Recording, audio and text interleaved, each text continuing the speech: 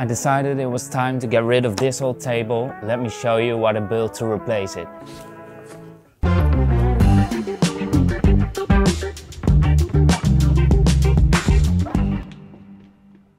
So here's the table when it was in my room. As you can see, it took up a lot of space and I couldn't move it easily. You can imagine that was getting on my nerves. So I decided to replace it with something more practical. Instead of a table that sticks out that much, I'm gonna build a smaller but longer table with this beech panel. And the best thing is I'm gonna mount it to the wall and make it collapsible. Why, you ask? You're gonna find out. I started by staining the tabletop. I did this on top of some newspapers, which turned out to be a bad idea because they stuck to the stain a lot.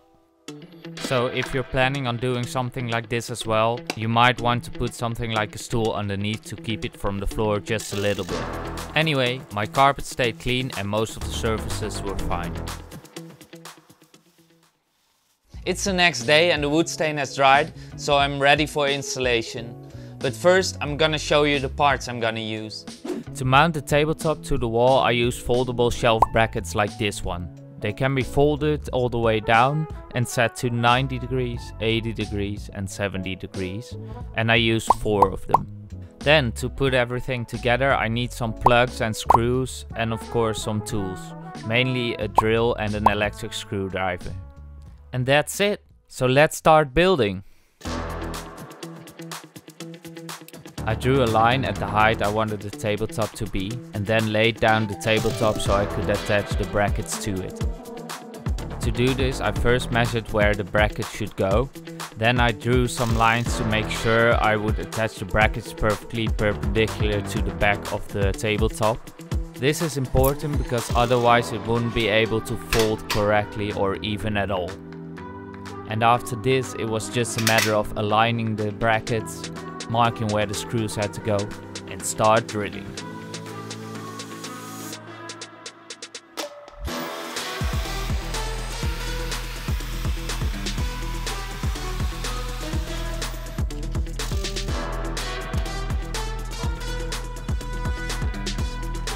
As you can see, I had to build quite a contraption to make the end of the screwdriver long enough to be able to screw in the screws. Whatever works, I guess. All done.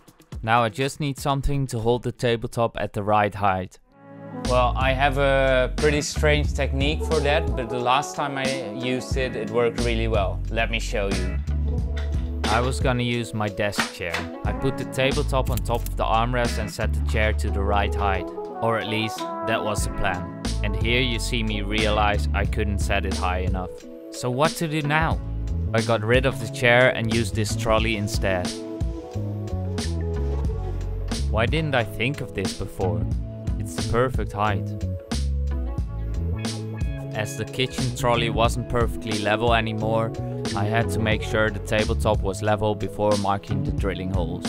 This problem was solved easily by just putting a little piece of paper underneath the tabletop.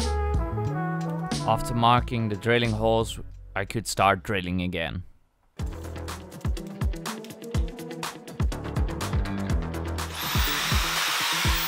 I might as well put in the plugs right away, now I have good access to it.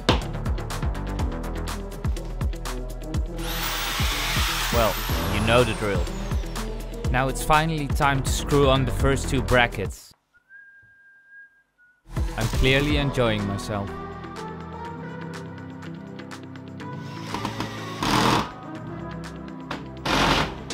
Two more after this and we're already done.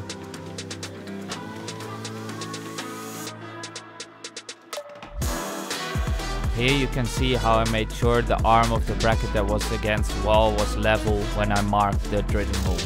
I should have paid more attention to how it folded in the other arm though. You'll see why in a bit. here are all the steps once more for the last bracket. The leveling and marking, drilling, plugging, hammering and screwing it to the wall.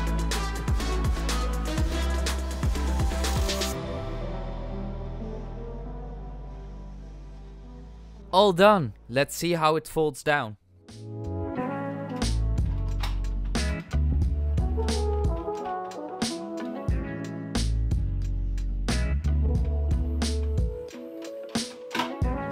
Yeah, I'm gonna find a solution for this, but that's gonna be for another time.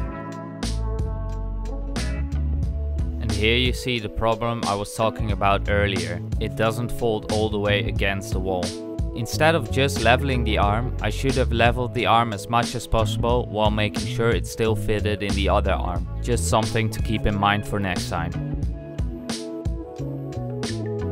Let's clean up a bit.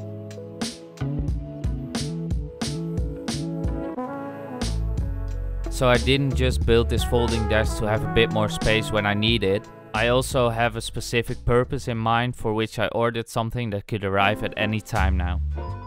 Oh, there it is. Great timing. So what's in this package? It's got something to do with these sheets. Let's open it. Okay, it's a bag. But what's in it?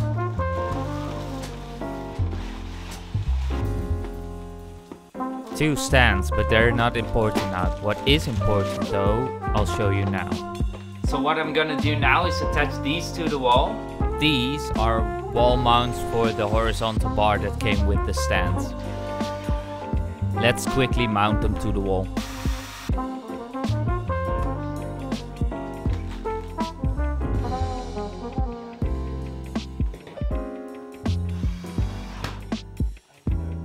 And there's the horizontal bar. So now I can finally reveal what I had in mind when I started all this. So whenever I want to do a photo shoot, Or video of course. I just do this.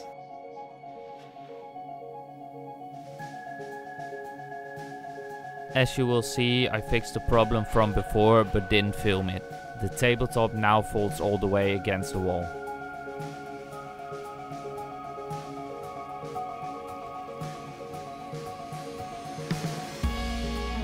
There it is, my own little studio. This turned out so well. Look at this.